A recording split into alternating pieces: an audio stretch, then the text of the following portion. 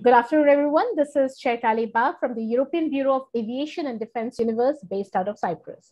And ADU is continuing with its countdown to the 89th Indian Air Force Day. As the Indian Air Force formidable inventory keeps on growing, so does its need for more. And in this wish list is the procurement of the 114 MRCA under Make in India. And today we have Mike Kelley, Vice President India, Lockheed Martin Aeronautics Strategy and Business Development, and Brett Medlin, F-21 India campaign lead to take us a walkthrough on Lockheed Martin's F-21, which is one of the contenders. I welcome you both on behalf of ADU to this chat room. And now I request our editor, Sangeeta Saxena, to take the discussion forward. Hi, Mike, and hi, Brett. Good morning to both of you there. It's a good evening in Delhi. And uh, this is just wonderful to have both of you here. And we've been waiting for it for quite some time, you know, now. We were, we were waiting for just the right opportunity, and we got it courtesy the Indian Air Force. Uh, Mike, you know, uh, you have been here for a very long time, and Brett also for some time now. I just wanted to begin with the, you know, F21, yes. And there is a quarter in uh, India which feels that F21 is an old wine in a new bottle. Now, I would like you to justify it. Well, good evening. Thank you for having us. I'll I'll take that question happily. Um, we we hear uh, that as well, uh, but I would like to reiterate that the F-21 truly is different inside and out. It's uniquely configured to meet the Indian Air Force's uh, requirements, uh, technically, uh, operationally, as as well as from um, a, a, low cost, uh, life low life cycle cost, as well as um, make in India perspective. From the technical standpoint, it is, like I said, truly different inside and out. It has a fifth generation um, active electronically scanned array radar, leveraged from both the F 35 as well as the F 22 platforms. It has triple missile launcher adapters, which allows it to carry up to 40% more air to air firing power compared to legacy platforms. So 10 air to air missiles in total. It has an advanced tar- targeting pod, pod, excuse me, IRS uh, infrared search and track, uh, coupled with the radar um, which allows the ability to um, to have a first shot or first look uh, detection, first and first shot and first kill in the in the kill chain. Um, it's it truly is um, a, you know a different a different animal, and it's it's uh, specifically configured for India per the requirements as we know them today. Uh, we're yet to receive a formal RFP from the Indian Air Force. Um, but once once we do, as that acquisition formally progresses, and should those requirements change, we do remain committed to meeting and or exceeding all of Indian Air Force's requirements. Uh, yesterday, when we were at the annual press conference of the chief, the Indian Air Force chief, and uh, he said, you know, that the RFIs have all come, and we are in the process, uh, you know, trying to organize the next stage which means that you will very, uh, you know, shortly hear from them. Does it mean that, uh, you know, my, my understanding, does it mean that uh, you will, uh, once you get the RFPs and you get a timeline to respond to them, uh, how, how do you plan to tell them that this is what we will do, this is where we will do, and this is how we have planned? Because it's Make in India, it's a pet project of the government of India. So have you decided in all the parameters? of production in India? So this the uh, the RFI was issued in 2018. Um, even years before that, um, Lockheed Martin has had um, a presence in India. Uh, we have we have two very successful joint ventures, as you're likely aware, down in Hyderabad. Um, we've we've had our technical team, our operate production operations team, have boots on the ground visits and over 250 different suppliers and uh, desktop analysis of over 500 suppliers. And I imagine that number would be even greater had we not had the, the pandemic these this past you know nearly two years now. So once we get the RFP from a proposal standpoint, I believe that we are very well positioned um, to provide a, a, superior Make in India offering. No other company, um, uh, you know, compared to Lockheed Martin, has had the track record of establishing robust industrial ecosystems really around the, the, globe from a from a aerospace defense perspective, um, and then from uh, from a life cycle cost, as I had mentioned, uh, from a technical capability, th- those um, those those requirements, um, specifically on the technical side, will ensure that we are compliant with the Indian Air Force's requirements. And where does F-21 fit in in the already existing inventory? You know, F-21, if it comes through the Make in India channel, it should be an asset, and it should not be a duplication of existing assets. So where does it fit in? Where it gets that individual position? So the F-21 truly is a force multiplier for the Indian Air Force uh, from a capability standpoint, and it, it complements both the Tejas and Rafale uh, quite well uh, operationally and, and again from an affordability perspective if you look at the max takeoff weights between both the tejas as well as the rafale and the mission profiles for uh, the, the indian air force and other air forces around the world from from a balanced force structure standpoint the f-21 uh, fits in right in the middle of that.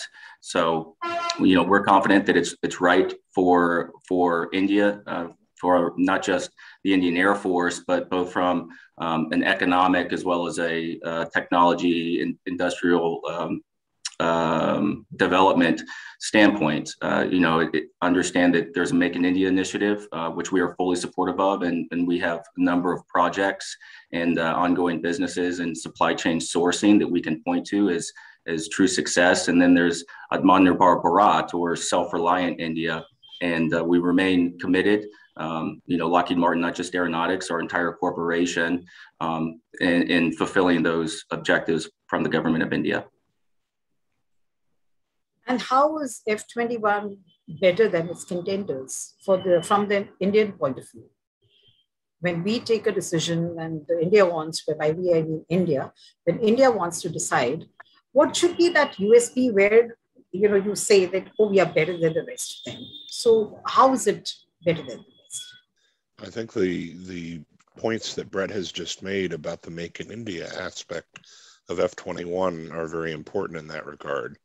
Nobody else has the track record that Lockheed Martin does uh, for indigenization of, of fighter aircraft production and partnership uh, with different industries and countries around the world.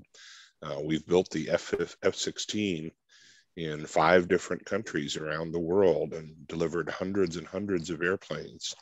Uh, with the F-35, we are now uh, building those aircraft in, in Japan and Italy, as well as the United States.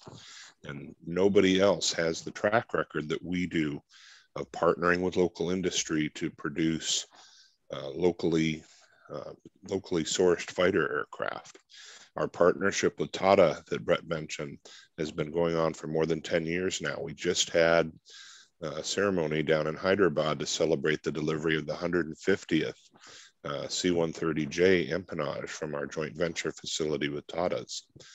Um, those sorts of relationships, uh, which we start, tend to last for a very, very long time. And and I don't think you see that with any of the other companies that are in our business. And uh, that is really what I think India is looking for uh, with the Make in India, with the Self Reliant India initiative.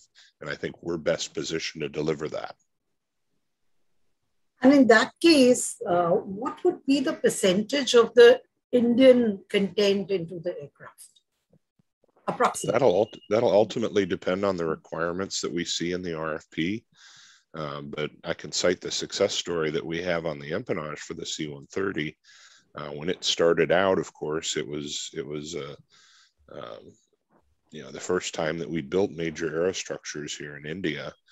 Uh, this at this point here, now that we've been 10 years into the process, 85% uh, of that structure, which is the whole tail structure of the C-130, is sourced here in India. It's not something where we're bringing in parts from overseas and just putting them together. Uh, we've developed an ecosystem, as Brett mentioned, of small and medium suppliers that feed up the supply chain to our Tata joint venture. 85% of that is built here in India. Uh, within the next few years, we intend to increase that to over 95%. And is uh, Lockheed Martin projecting that? uh, whenever there's a talk with the government? Certainly, uh, that sort of thing tends to increase over time, as it has for the C 130. And we would expect F21 to be the same way. We would start out with a certain set of things that we would do with our industrial partners. As you know, the first 18 or so aircraft would be uh, delivered from our production facility in Greenville, South Carolina. And then we would transition the production line over to a facility in India, depending on uh, what the requirements of Government of India laid out in the RFP are. Over time, the indigenous content of the aircraft that are built here is going to naturally increase. And that's driven by a number of factors. Uh, the capability of Indian industry to absorb the transfer of technology. Uh, it's driven by the relationship between India and the United States with respect to technology transfer and release policies.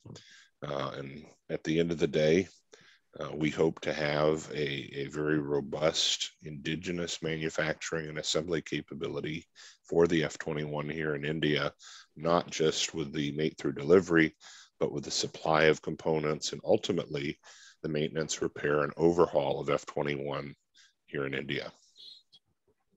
And, Brett, do you uh, have anything to, to add to that? No, you, you said it well, Mike. Thank you. And, uh, you know, in continuation to that, uh, there's a life cycle cost to it. So will uh, that, you know, what will what will that result into, you know, if uh, how where will you stand when it comes to budgeting, which is a very major constraint in India and anywhere in the world, I'm sure it will be. So uh, how would you fit that into it? The initial cost of the aircraft, manufacturing of the aircraft, and then the life cycle cost. So how would right. you?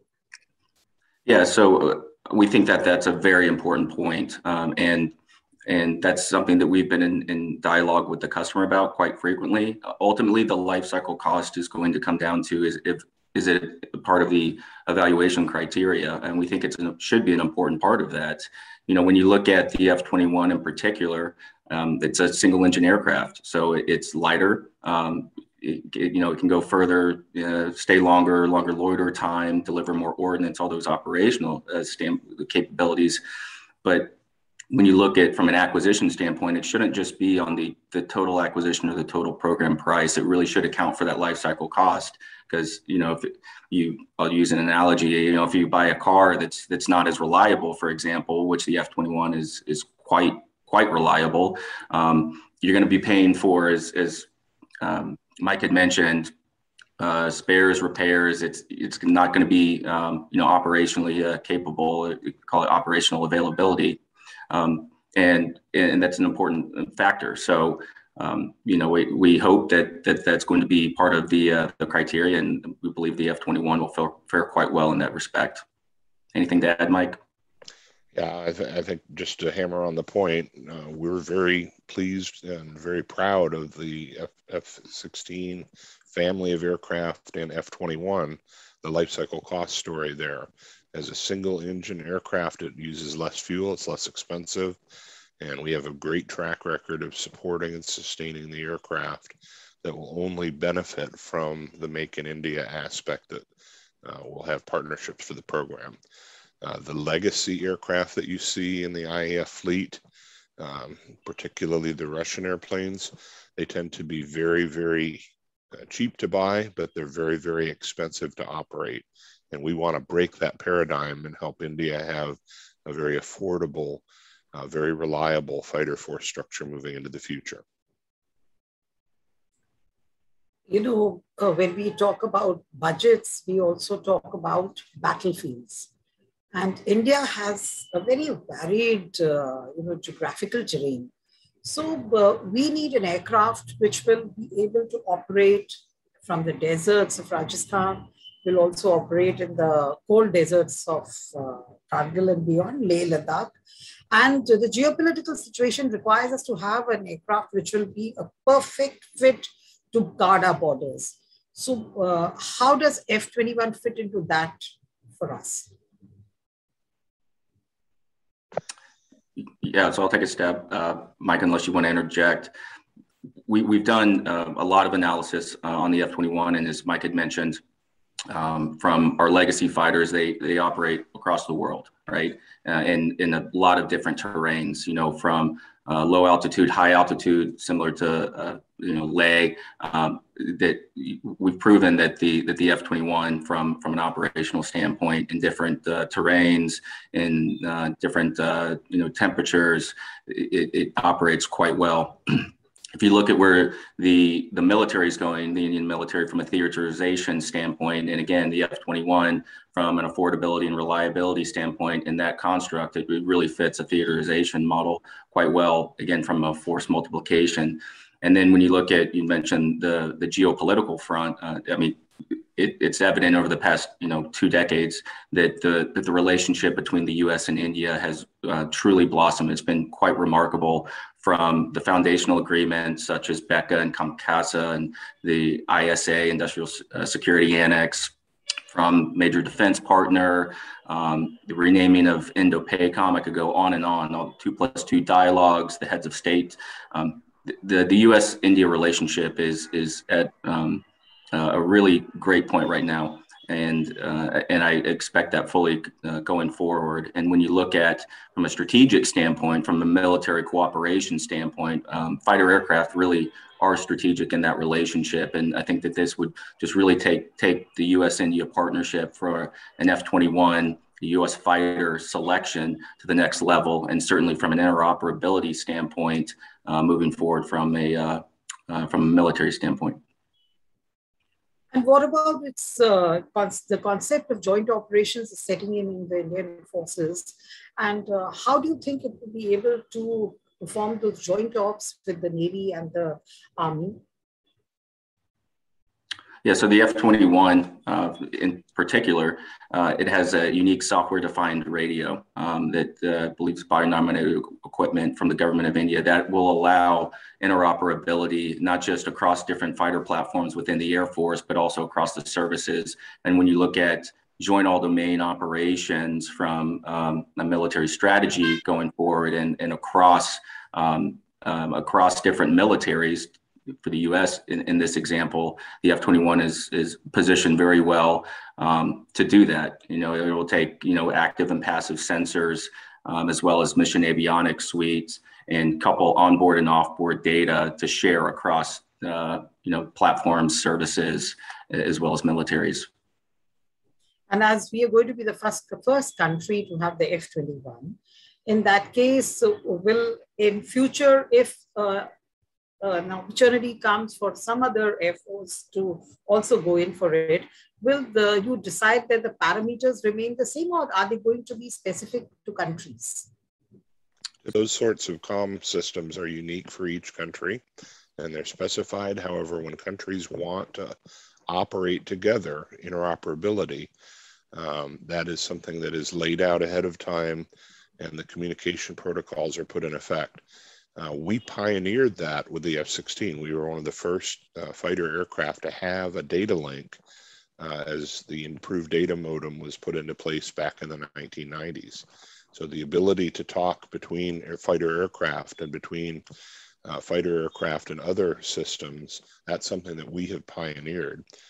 Uh, so if India wants to cooperate with other friendly countries, it is something that, that can be put into the system.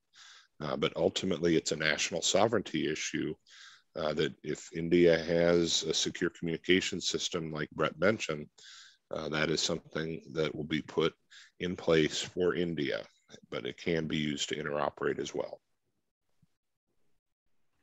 Yeah, and I was just going to say, the, you know, the F-21 offering, it, it is unique uh, to India um, or specific for India. Uh, we're not offering uh, now nor in the future the F-21 to any other country in the world.